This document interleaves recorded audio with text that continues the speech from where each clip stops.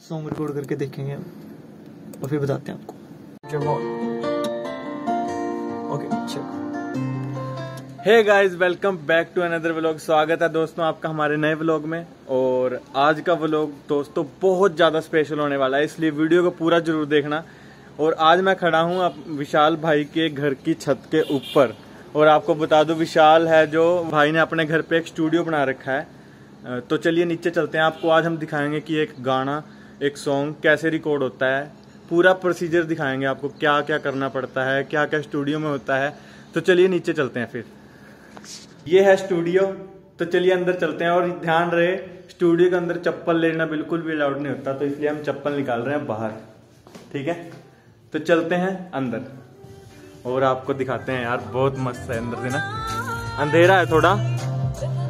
और ये है विशाल भाई। अंधेरा है थोड़ा। शुभम भाई कैसे हेलो ये है विशाल भाई और हम पहले यहाँ पे थोड़ा लाइट वाइट दिखाते हैं अंधेरा है थोड़ा सा ना।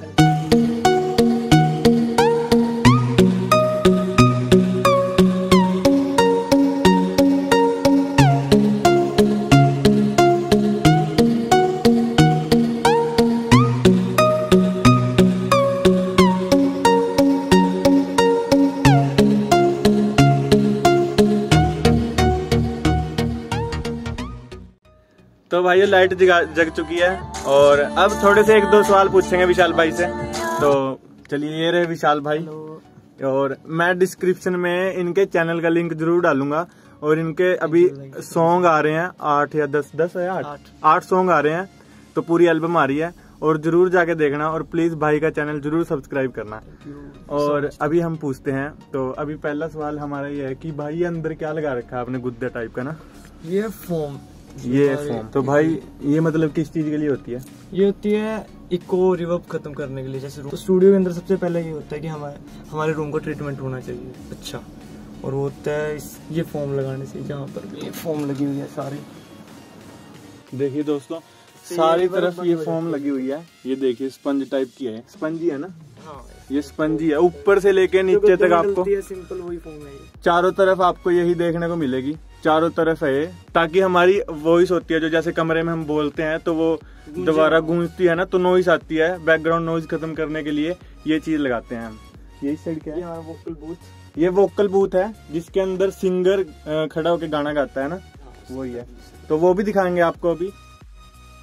तो विशाल भाई हमें बताइए कि आपने सिंगिंग कहाँ से सीखी? सिंगिंग तो मैंने खैर सीखी नहीं इतनी मतलब ऐसे ही गाते रहते हैं गाने सुन सुन के सुन सुन के। पर मैंने स्टूडियो का वर्क सीखा है जो मैंने मोहाली स्टूडियो है हमारा डब्ल्यूएस स्टूडियो के नाम से। आज़ाद नाम है मेरे सर का आज़ाद भैया। उनसे मैंने सीखा स्टूडियो का सारा। W S studio W S studio wings and W S studio से सीखा है और सर का नाम? मोहाली आज़ाद नाम है। आज़ाद सर का नाम है। तो भाइयों विशाल भाई और उनकी पूरी टीम की एक एल्बम आ रही है उसमें आठ सॉन्ग है और उस सॉन्ग्स में एक सॉन्ग है बदनाम। फ़र्स्ट सॉन्ग है ना? उस उन सभी सॉन्ग्स में एक पहला सॉन्ग है जो बदनाम है। बदनाम है। उस सॉन्ग्स का नाम ही बदनाम है और हमारी दुआ है कि वो इतना बदनाम हो कि हर बंदे तक पहुँच जाए है ना?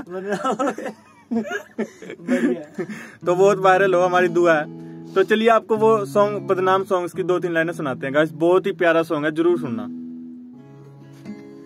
ਬਦਨਾਮ ਹੋ ਕੇ ਤੇਰੇ ਪਿੱਛੇ ਕੀਤੀਆਂ ਲੜਾਈਆਂ ਕੁਝ ਮਿਲਿਆ ਨਹੀਂ ਪਿਆਰ ਵੀ ਬਗਾਨਾ ਹੋ ਗਿਆ ਮੈਨੂੰ ਕਹਿੰਦੀ ਸੀ ਤੂੰ ਕੀਤਾ ਤੈਨੂੰ ਪਿਆਰ ਸੱਚਾ ਏ ਉਹ ਸੱਚੇ ਆਸ਼ਿਕਾਂ ਨੂੰ ਮਰਿਆ ਜ਼ਮਾਨਾ ਹੋ ਗਿਆ thank you thank you so much guys keep supporting thank you तो भाई चलो अब हम आपको एक एक चीज दिखाते हैं चलो भाई विशाल भाई दिखाएंगे मुझे तो कुछ पता नहीं है यार दिखाओ तो भाई सबसे पहले मैं दिखाता हूँ अपना मेरे पास पीसी है मेरा कंप्यूटर और इसकी स्पेसिफिकेशन है ये आई नाइन प्रोसेसर है टेंथ जनरेशन और इसकी कॉस्ट है जो मुझे लगभग एक लाख पचास हज़ार तक पड़ी है। मेरा सबसे पूरे स्टूडियो में सबसे महँगी चीज़ यही है। जो एक लाख पचास हज़ार रुपये का है भाई पीसी ओके तो ये एलईडी है। और सबसे पहले मैं बता देता हूँ कि जो बेसिक जिन्होंने सीखना है उनके लिए नहीं है ये उनको इतने पैसे खर्च करने की कोई ज़रूरत नहीं है। जब आप अच्छे प्रोजेक्ट बनाने लग जाओ तब ये ज़रूरत है। पहले मैं भी ये लैपटॉप है मेरा। इसी पे मैंने काम किया पहले स्टार्टिंग मैंने सब कुछ इसी से किया। बहुत कवर्स वगैरह जो मैं बनाता था सब इसी से बनाता था। और भाई आपको एक बात और बता दे। भाई कह रहा है कि अभी वो आपके लिए नहीं है पीसी जब आप अच्छी नॉलेज सीख जाओगे तो वो आपके लिए है वो। भाई पहले लैपटॉप पे करता था सारा। तीन साल बाद लिया है। तीन साल तीन साल लग गए भाई को ये खरीदने में। तो यार आप पहले सीखो उसके बाद आप धीरे धीरे सामान परचेज करना क्योंकि पहले ही पैसे लगा के कोई फ़ायदा नहीं है। और ये है भाई की। मोनीटर है। ये कितने का पड़ा भाई आपको? इक्कीस हज़ार का है। ट्वेंटी वन थाउज़ेंड का इक्कीस हज़ार का। एल जी का मॉनिटर है सताईस इंच का। मोनीटर है सताइस इंच का मोनीटर है। ट्वेंटी वन थाउज़ेंड का पड़ा है भाई को। इसमें हम वीडियो एडिट वगैरह भी कर सकते हैं अच्छे कलर्स आते हैं इसके अंदर। इसीलिए इसकी कॉस्ट थोड़ी थोड़ी महँगी है। इससे बड़ी एलईडी भी मिल जाती है तेरह चौदह हज़ार रुपये की। वो थोड़ा सा ये कि इसके कलर्स वीडियो एडिट के लिए नहीं सही है वैसे अच्छा जैसे हम कवर्स की जो वीडियोस बनाते हैं या अपने कुछ भी तो हम इसी में एडिट कर लेते हैं अपने वीडियो कलर ग्रेडिंग वगैरह करते हैं इसी और भाई ये क्या चीज़ है? ये मिडी मिडी कीबोर्ड भाई ये मिडी कीबोर्ड तो कीबोर्ड बेसिकली कीबोर्ड और मिडी में फ़र्क होता है दोनों में। जो हम लाइव में जैसे जागरण वगैरह जो शोज़ वगैरह में जो करते हैं यूज़ पंजाबी अखाड़ों में वो कीबोर्ड होता है।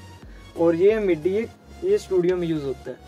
इसमें फ़र्क क्या होता है कि इसकी अपनी साउंड नहीं होती बिल्कुल भी। ये कंप्यूटर के साथ सॉफ्टवेयर के साथ ही मिलके उसके साथ चलता है उसके साथ ही साउंड आती है इसकी। और जो कीबोर्ड होता है उसकी अपनी साउंड होती है। ये फ़र्क होता है इसके अंदर। तो चलिए कुछ और देखते हैं। और वो स्पीकर वगैरह जो लगे हैं साइड में। ये Yamaha M S P five ये मोनीटर्स हैं दोनों और ये एक इस साइड लगा है और एक लगा है उस साइड इनका पेयर इनकी मतलब क्वालिटी क्या है? ये बेस्ट क्वालिटी है फाइव इंच मोनीटर में सबसे अच्छे मोनीटर्स हैं ये। बजट में सबसे बेस्ट मोनीटर है ये। ये फाइव इंची और इनका इनकी कॉस्ट पड़ी थी मुझे साढ़े उनतालीस हज़ार चालीस के ही पड़ गए थे मुझे।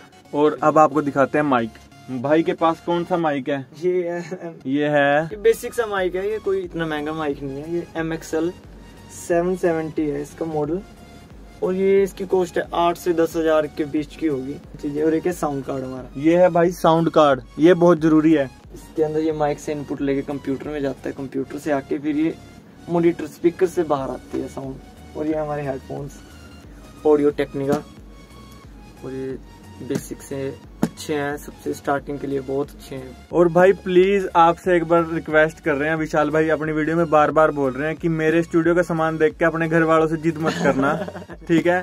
कि हमें भी ऐसा स्टूडियो बनाना है। आप मेहनत करो यार विशाल भाई ने तीन साल लग गए स्टूडियो बनाने में। सीख रहे हैं। अभी भी सीख ही रहे हैं यार। तो आप एक लैपटॉप से स्टार्ट कर सकते हैं सब कुछ। आप देख सकते हैं आज इनकी मेहनत यहाँ पे है है ना? तो चलिए अब आपको हम और कुछ ज़्यादा बोर नहीं करेंगे। आपको लाइव दिखाते हैं कि कैसे रिकॉर्डिंग होती है कैसे हम कोई म्यूज़िक बनाते हैं। और शुभम भाई हमारे गाएँगे उसमें। हाँ? तो आपको अब दिखाते हैं। रिकॉर्ड करेंगे एक और, और तो आपको अब हम दिखाएँगे कि एक सॉन्ग कैसे रिकॉर्ड होता है कितना टाइम लगता है और क्या क्या प्रोसीजर है सब कुछ दिखाएँगे यार बस आप वीडियो को पूरा देखना। भाइयों सब कुछ सेटअप तैयार है साउंड तैयार है भाई तैयार है और इसमें गिटार रिकॉर्ड किया है। और आपको सुना देता हूँ मैं फिर अब इसके अंदर वोकल रिकॉर्ड करके दिखाएँगे हम फिर मिक्स करके दिखाएँगे। चलो ठीक है भाई।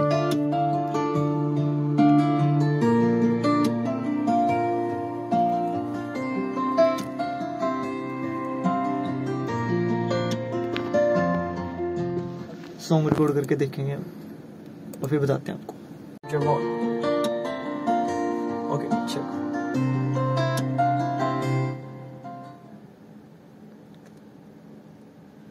ਤੈਨੂੰ ਵਿੱਚ ਖਾਬਾਂ ਦੇ ਨਿਤ ਗੱਲ ਵਕੜੀ ਪਾਉਣੀ ਆ ਮੈਂ ਤੈਨੂੰ ਦੱਸ ਨਹੀਂ ਸਕਦੀ ਤੈਨੂੰ ਕਿੰਨਾ ਚਾਹੁੰਦੀ ਆ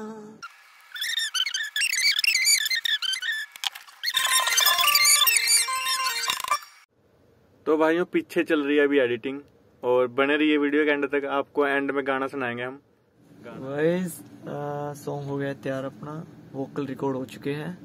और अब मैंने हल्की सी मिक्स करके थोड़ा सा मिक्स करके इसको कर दिया है तैयार। अब आपको सुनाते हैं देखते हैं कैसा बना है। तो चलो भाइयों सुनते हैं फिर भाई ने गाना कर दिया तैयार। तो चलिए फिर सुनते हैं शुरू करते हैं।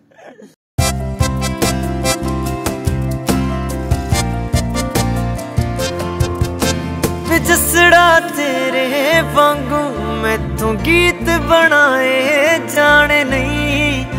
ਆਪਣੇ ਜਜ਼ਬਾਤਾਂ ਵਾਲੇ ਕੋਕੇ ਲਾਏ ਜਾਣੇ ਨਹੀਂ ਓਏ ਜਸੜਾ ਤੇਰੇ ਵਾਂਗੂ ਮੈਥੋਂ ਗੀਤ ਬਣਾਏ ਜਾਣੇ ਨਹੀਂ ਆਪਣੇ ਜਜ਼ਬਾਤਾਂ ਵਾਲੇ ਕੋਕੇ ਲਾਏ ਜਾਣੇ ਨਹੀਂ ਤੇਰੇ ਹਿਜਰ ਚ ਸੜਦੀਆਂ ਵੇ, ਤੈਨੂੰ ਮੰਗਦੀਆਂ ਵੇ, ਉਂਗਲਾਂ ਨਾਲ ਤੇਰਾ ਨਾ ਦਿਲ ਤੇ ਵਾਨੀਆਂ ਤੈਨੂੰ ਵਿੱਚ ਖਾਪਾਂ ਦੇ ਵਿੱਚ ਗੱਲ ਪਕੜੀ ਪੋਨੀਆਂ ਮੈਂ ਤੈਨੂੰ ਦੱਸ ਨਹੀਂ ਸਕਦੀ ਤੈਨੂੰ ਕਿੰਨਾ ਚਾਹੁੰਦੀਆਂ मेरा विशाल भाई से ये क्वेश्चन है कि आपने भाई कितने टाइम लगा आपको ये स्टूडियो तैयार करने में मुझे भाई ये तीन साल लग गए इसको बनाने में अभी इससे मैंने एकदम से सारा सामान ही डाल लिया कि एक महीने में मैंने स्टूडियो तैयार कर दिया। मुझे कम से कम दो तीन साल लगे खुद शोज़ वगैरह करके, उससे जो पेमेंट वगैरह, जो मेरा कच्चा फंड था, उससे मैं बनाता रहता था कि आज मोनीटर लिया है माइक लिया है साउंड कार्ड लिया है। फिर लास्ट टाइम अब डैडी ने मेरे पीसी दिलवाया मुझे कंप्यूटर जब उन्होंने देखा कि कुछ कर रहा है बंदा तो अब घर वालों ने दिलवाया कंप्यूटर ही मुझे तो भाई आप बचपन से ही गा रहे हैं मैं तो देख ही रहा हूँ। भाई बचपन से गा रहा है क्योंकि जब मैं तो बहुत छोटा था हुआ भी नहीं था अभी मेरे ख्याल से। ज़्यादा ही हो गया ना। तो मतलब इनकी जो मैंने एक बार स्टेटस लगाया था इन्होंने तो उसमें ना इनकी फ़ोटोज़ वगैरह थी तो ये बचपन से ही गा रहे हैं ना? तो मैं देख रहा था। तो आज उसी की मेहनत ये है आप देख सकते हैं भाई की मेहनत है आज की आज आपका अपना खुद का स्टूडियो है। तो मेरी तरफ़ से भाई आपको बहुत बहुत बधाई। भगवान आपको और भी ज़्यादा तरक्की दे। तो दोस्तों, ये है जिसमें सिंगर खड़ा होकर सॉन्ग गाता है ना, ये वो रूम है। और ये अंदर से कुछ ऐसा है ये भी तैयार हो रहा है यार। इसमें टाइम लगेगा तो इसलिए रिकॉर्डिंग अभी उधर ही चलती है। तो चलिए।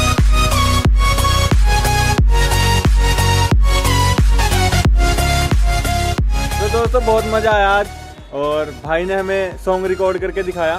तो मुझे तो भाई के गाने बहुत अच्छे लगते हैं। मैं तो हर सॉन्ग सुनता हूँ। और आपको कैसे लगे हैं, आप ज़रूर बताना। आपको भाई की आवाज़ कैसी लगी? और जल्दी से डिस्क्रिप्शन में जाके भाई का चैनल देखो सब्सक्राइब कर लो। और मिलते हैं किसी और ब्लॉग में, किसी और जगह पे।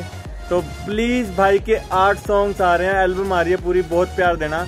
मैं हर सॉन्ग का अपने डिस्क्रिप्शन में वीडियो की डिस्क्रिप्शन में लिंक डाला करूँगा भाई के, हर सॉन्ग का। तो भाई, मिलते हैं किसी और ब्लॉग में। मेरा इश्क इश्क तो वध के ईमान न हो जावे। चूम चिबला नारी। मेरा कितने नहीं दिल लगना। माही मेरा कितने यो दिल लगना